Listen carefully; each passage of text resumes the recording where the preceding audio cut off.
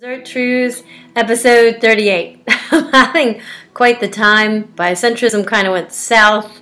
Uh, sister got pregnant, dad beat her up, um, you name it, crazy stuff happened. So um, it looks like I am switching.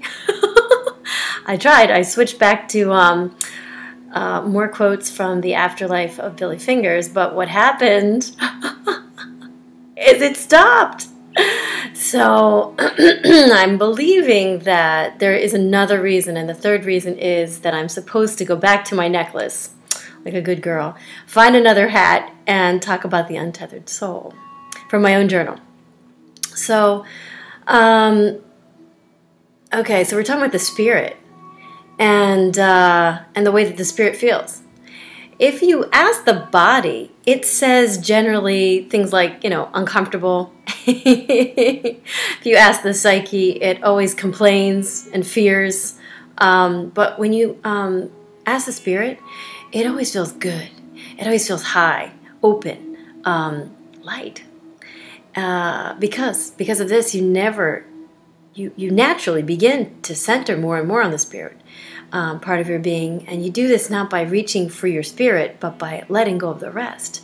Um, when you let go of the lower aspects of your being, you feel a tremendous love, um, the Spirit of God, and you feel that. Uh, nothing could come in through the senses that was higher than what was already going on on the inside. So that means like not through your eyes, not through your nose, not through your mouth, not any of your senses feeling um, could bring the kind of joy that um, you just feel without the five limited senses.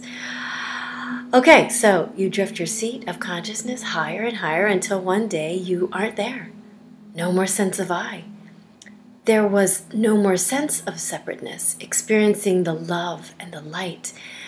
There was only the ultimate expansiveness of the sense of self, merging into the love and light, like a single drop of water merging into the ocean,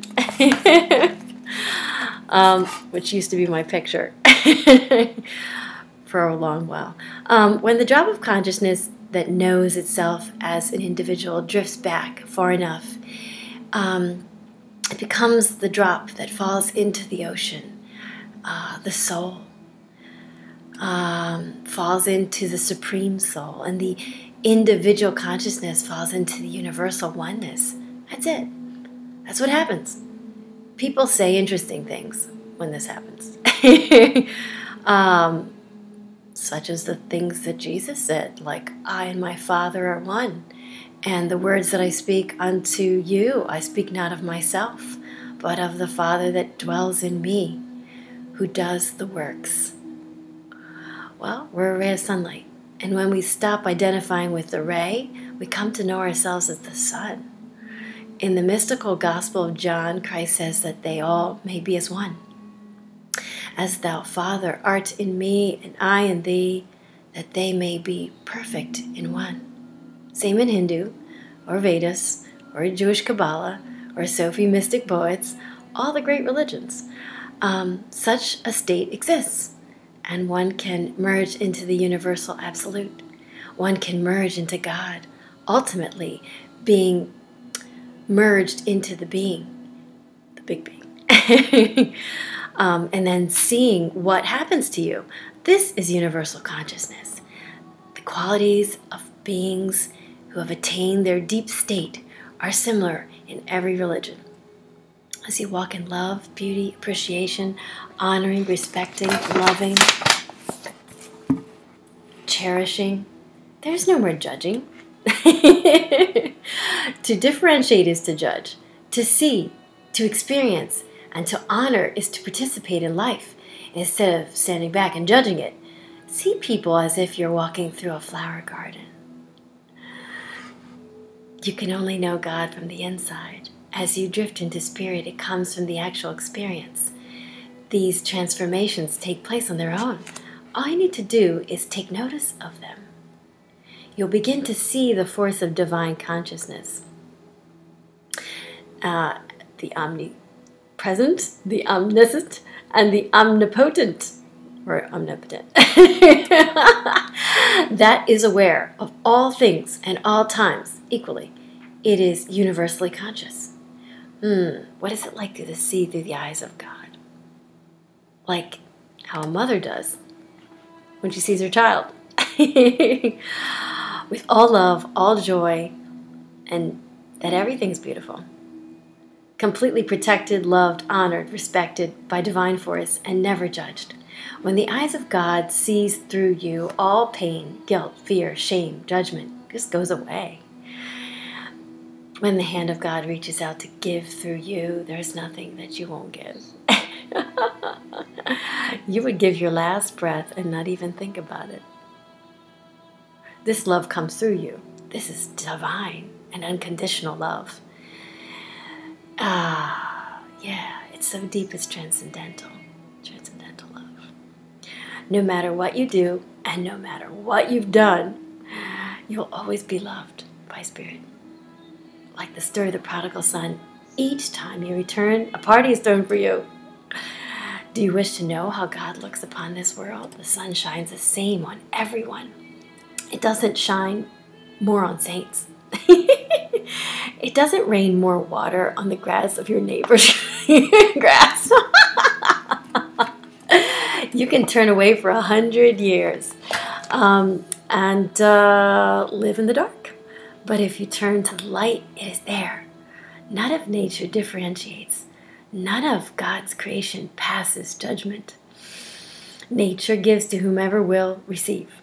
So you should make your divine plans by creating um, what it is that you desire uh, and then see it as not only possible and real, but give thanks for it already. uh, should you choose not to receive, it doesn't punish you. You punish yourself because you choose not to receive. Even if you denounce God, creation still continues to sustain you. You don't need to apologize. Come out of the dark and look up at the light still shining on you as if you never left. You, so you do just that. You do not let fear, guilt, shame, none of that interfere. That's just your ego blocking divine light and divine force and presence.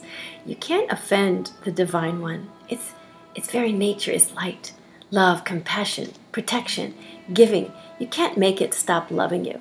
It's like the sun. You can't make the sun stop shining on you. You can only choose not to look at it. The moment you look, you'll see it's there. The Divine One, light, nature. The moment you look, as you drift back into spirit, you'll see that those are the eyes that look upon this world. That is the heart that shines down upon everything and everyone. Through those eyes, even the most wretched of creatures looks beautiful. The saint sees that God goes into ecstasy when God looks upon this earth.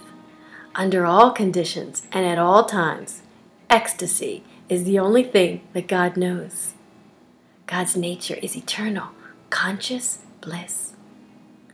No matter what you've done, you're not going to be the one that ruins it. When you experience God's ecstasy, you'll feel this joy. And then nobody will upset or disappoint you. Nothing will create a problem. It will all appear as part of the beautiful dance of creation unfolding before you in your natural state. Should we continue?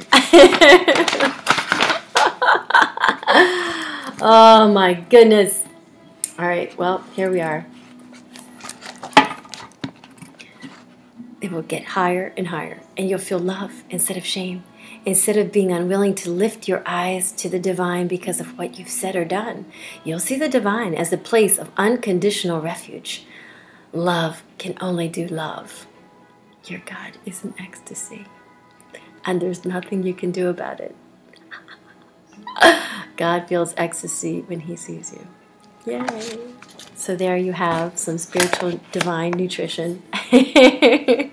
May you be blessed. May you have pleasant dreams. Um, and kiss, kiss.